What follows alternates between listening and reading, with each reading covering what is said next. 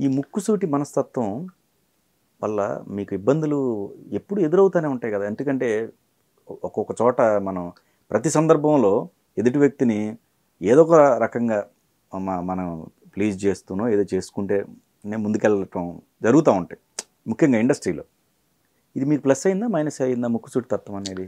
అంటే నేను ఈ కళామ తల్లి అన్నం తిన్నాను కాబట్టి దాని మీద ఒట్టేసి చెప్తున్నా. నేను ఎప్పుడూ ఒదిగే ఉన్నానండి. ఓకే. ఒక విషయంలో నేను చిరంజీవి గారిని ఏదో అన్నానని చెప్పి ఒక లేడీ ఆర్టిస్ట్ ఒక అతనికి చెప్పటం ఆవిడ వెళ్ళి అక్కడ చెప్పటం ఇలాంటివి చాలా జరిగినాయి. సందర్భ సమస్య అసలు ఆ పేర్లు నేను చెప్పదలుచుకోవాలా? చెప్పదలుచుకోవట్లా? ఇట్లాంటి ఎన్నో మన గురించి ఇంకొక ఆ పేరు కూడా నేను చెప్పలేను. ఓకే. వాడు నేను ఆర్టిస్ట్గా స్టార్ట్ అయిన కాడి నుంచి ఎందుకో నా వెనకాలనే పడ్డాడు చాలా సంవత్సరాల పాటు. అతను కాంపిటేటరా మీకు? కాదు అసలు కాదండి. కాకపోతే మరి మీ వాడు నాతో చాలా మంచిగా ఉండేవాడు. ఓకే. నేను అన్నా అని కూడా అనేవాడిని. కానీ వాడికి నేనంటే ఇష్టం ఉండదు. ఓకే. వాడి పేరు చెప్తే బాగోదు. అంటే వాళ్ళని వాళ్ళని అనుకునే కన్నా కూడా నా కర్మ బాగుంటే వీళ్ళు నాకు తగలరు కదా. మరి అలాంటప్పుడు మీరు తీ- తీసుకోకుండా ఉండాల్సింది మరి నేను ఇక్కడ ఎవరిని దగ్గర తీసుకోవడం దూరం పెట్టడం లేదండి. నాతో ఎవరుంటారో వాళ్ళతో ఉండేవాడిని వాళ్ళతో ఓపెన్గా మాట్లాడేవాడిని. ఓకే. నా నేచర్ అటువంటిది. నా చూ ఇప్పుడు ఇది శివాజీ కాంపౌండ్లో బతుకుతున్నాం శివాజీ ఇండస్ట్రీలో బతుకుతాం అన్న అన్నోడు బయటికి వెళ్ళి వాడా అని మాట్లాడేవాళ్ళు ఉన్నారు. అవకాశం ఇక్కడిది. అరే నేను ఈ చేత్తో డబ్బులు ఇచ్చినా కూడా ఈ చేత్తో అన్నం పెట్టినాడు మా కాస్ట్యూమర్లు కనపడ్డా "ఆ, అక్కడ మేవాడు నేను బతుకిచ్చిన మనుషులు కూడా. నాకు ఎంతో మంది పెట్టారు అన్నం. ఓకే. అలా నేను అన్నం పెట్టిన వాళ్ళు కూడా పిల్లలకి ఫీజులు లేవంటే డబ్బులు ఇచ్చినాడు. అంటే ఇవన్నీ చెప్పుకోవడానికి చాలా మంది చెప్తున్నప్పుడు నాకు నేను టీవీలో చూస్తున్నప్పుడు అనిపిస్తుంది ఎందుకు ఇవన్నీ అవసరం అనిపిస్తాయి కాకపోతే మీరు కిలికారు కానీ నాకు కూడా లోపల అది కొడతా ఉంది. ఇది టెలికాస్ట్ అయ్యేటప్పుడు ఏం మాట్లాడుకుంటారు జనం అనేది నాకు అది చాలా ఇదిగా ఉంటది. రైట్ అలా అనుకున్న సందర్భాలు అట్లా మనుషులు చాలా మంది నా చుట్టూ వాళ్ళే ఉన్నారండి. అందువల్లే నా కెరీరు నేను ఇబ్బంది పడ్డాను. నా అతి మంచితనం ఆకలి అవుతుంది అన్నప్పుడల్లా అన్నం పెట్టాను. ఫీజులు కట్టాలన్నప్పుడల్లా డబ్బులు ఇచ్చాను. అసలు ఎక్కడో రోడ్డు మీద బతకాల్సిన మనుషులకి పెద్ద పెద్ద హోదాలు ఇచ్చాను. నేను ఇవ్వాల నాతో ఇప్పించాడు భగవంతుడు. అదే ఆ, ఆ, నాకెవరో నాకు అన్నం పెడితే నేను ఇంకా పది మందికి పెట్టాను నేను. ఓకే. నేను నేను నేనేం దాచిపెట్టుకోవాలా ఓకే విశ్వాసం లేదు. నా ఇప్పటికి కూడా బాధ ఏంటంటే మొన్నటికి మొన్న కూడా అండి పిల్లలకి ఫీజులు లేవని డబ్బులు ఇచ్చినా నాకెవరైతే ప్రాణమిత్రుడు ఉంటాడో పోయి నిన్ను అడ్డం పెట్టుకుని ఎంత సంపాదించాడు అనుకుంటున్నావు శివాజీ అని చెప్తే ఎంత అమానుషం అండి. పోనీ మనం మంచిగా మనకున్న దాన్ని మనకు తెలిసిన విషయాన్ని మాట్లాడినా కూడా దాన్ని కూడా ఓర్చుకోలేకుండా మాట్లాడేవాళ్ళు ఉన్నారు. ఓకే. ఇప్పుడు మీరు నన్ను అడిగారు మీ ఇంటర్వ్యూలో మీరు అడిగినప్పుడు నేను క్వశ్చన్కి సమాధానం చెప్పాలి. లేకపోతే ఏమంటారు? అన్ని దాట వేశాడని ఎవడో పెడతాడో తమ్మునేలు అదే. నేను మాట్లాడి చెప్పాను వీడు అన్ని విషయాల్లోనూ వే- మేధావయ్యా అని మాట్లాడే అదోళ్ళు ఉంటారు. ఎట్లా? ఒకడిని కొట్టాను ఆ మధ్య నిజంగా.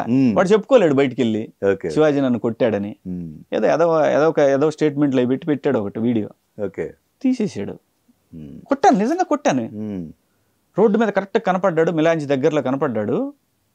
పెట్టి వీడ్చిపెట్టి ఒకటి వీకా నేను ఎందుకు కొట్టాను నీకు తెలుసు కదా? పో అన్నా నేను వెళ్ళిపోయా. వాడు చెప్పలేడు వాడు ఎవరితో అనలేడు?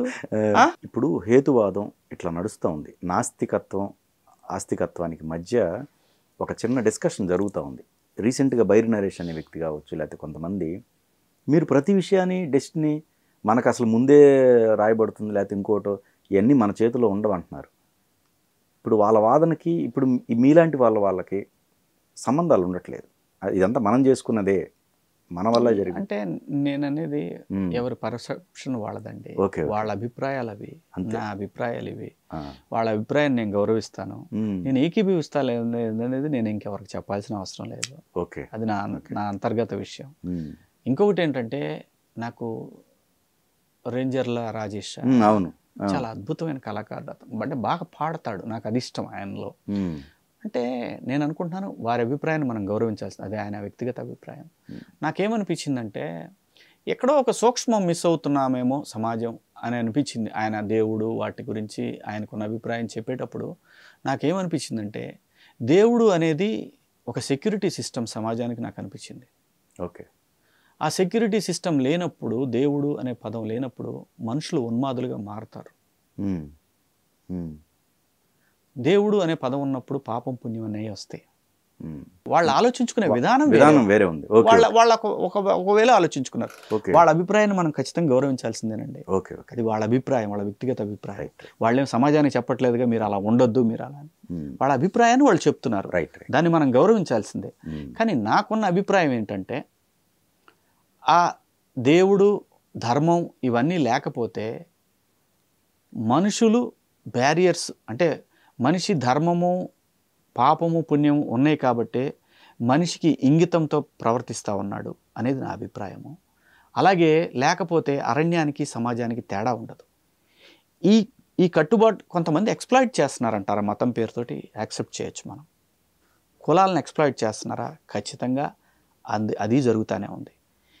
కానీ ఆ ఎక్కడైతే దైవం లేదు దైవం ఉందనే పదం దగ్గర దైవం అనేది లేకపోతే మాత్రం సమాజంలో విచ్చలవిడితనం ఉంటుంది. ఖచ్చితంగా పాపం పుణ్యం ఉండనప్పుడు ఇంకప్పుడు ఏమైంది ఇవాళ తీసుకొని నాలుగు కెమెరాలు తీసుకొని నేను పోతా. ఓకే. తప్పురా అన్యాయంరా నేను పిలిచి ఇంటర్వ్యూ చేస్తుంటే అయిపోయిన తర్వాత కెమెరాలు తీసుకొని పోతావా? అన్యాయంరా. ఈ ఇంగితం లేకుండా మిస్ అయిపోయింది అనుకోండి ఒకవేళ లేదు. ఎవరు ఎలాగైనా చేసేయచ్చు. దేవుడు లేదు ధర్మం లేదు ఏమీ లేదు అనుకున్నాం మరి ఏముంది? మరి ఏముంది? ప్రాక్టికాలిటీ నీ- నీ అభిప్రాయాన్ని నేను ఏకి నీ అభిప్రాయాన్ని నేను గౌరవిస్తా. ఉమ్. గౌరవించాల్సిందే. ఎవరి అభిప్రాయాన్ని మనం గౌరవించాల్సిందే. ఏకీభవిస్తావా లేదా అనేది నీ సొంత విషయం అది. ఏపీ ఏకీభవించినప్పుడు గొడవలు తగాదాలు గందరగోళాలు నువ్వు దేవుడిని అంట దేవుడు ధర్మం ఇవన్నీ లేకపోతే అండి మనుషుల్లో హ్యుమానిటీ ఉండదు రాక్షసత్వం ఉంటుంది సో జంతువులకి మనకి తేడా ఉండదు. మీరు చూడండి జంతువులు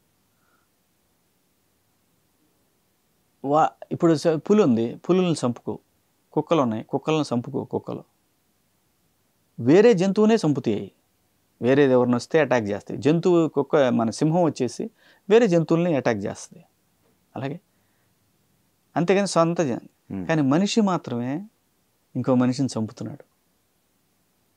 ఇంకా ఏ ఏ జీవిలో కూడా ఇలాంటి ఉన్మాదం లేదు. ఇదే దేవుడు అనే పదం లేదనుకోండి. జంతువుల్ని మించిపోతాం ఇంకా. ఇది అరణ్యం అయిపోద్ది. ఆ ఆ బ్యారియర్ లేకపోతే సమాజంలో దాన్ని ఎక్స్ప్లాయిట్ చేస్తున్నారు చాలామంది. దేవుడు అనే పదంతో చాలా కట్టుబాట్లు పెట్టి ఇట్లాంటివన్నీ చేస్తున్నారు. అది వాళ్ళ అభిప్రాయాన్ని మనం గౌరవించాల్సింది అంతే. ఎవరి అభిప్రాయం వాళ్ళది. వాళ్ళే మనల్ని నా అభిప్రాయానికే రావాల్సిందే మీరు అని బలవంతం చేయట్లేదుగా. అది రాజేష్ అయిన రాజేష్ గారైనా ఇంకొక ఆయన బైర్ నరేష్ గారైనా. నేను అనేది ఏంటంటే ఇక్కడ ఎప్పుడు కూడా మనం ఏం మాట్లాడినా కూడా దాన్ని ఎలా మనం వాడుకోవాలనే ఒక వ్యవస్థ రెడీగా ఉంటుంది. దానికి అనుకూలంగా దాన్ని గమనిస్తూ పోగలిగితే సమస్యలే రావు. అది బైర్ నరేష్ గారికి రావు. లేదంటే మన ఆయన రేంజర్ రాజేష్ గారిని ఎవరైనా ఎవరినైనా సరే. ఓకే. ధర్మం అనేది మాత్రం ఈ ఆచార వ్యవహారాల వల్ల సమాజం ఓ సమాజంలాగా నడవగలుగుతుందనేది నా అభిప్రాయం. నా అభిప్రాయం గౌరవించాల్సిన అవసరం లేదు.